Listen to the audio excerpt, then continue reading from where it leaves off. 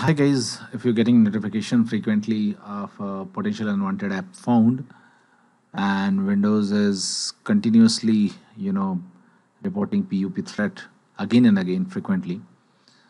So let's fix this issue. Uh, what you have to do, uh, just open File Explorer and now go to C folder. Now first of all, make sure hidden files are being seen. So just click on View tab and then make sure hidden items option is checked. Just check this, select this.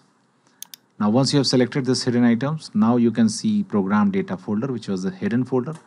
Just double click on it. Program data, Microsoft, Windows Defender, then scans, and then history, and then service.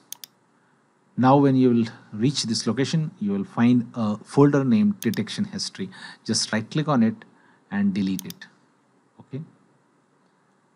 And now your problem will be fixed. This does not fixes your issue. Let's move to method two.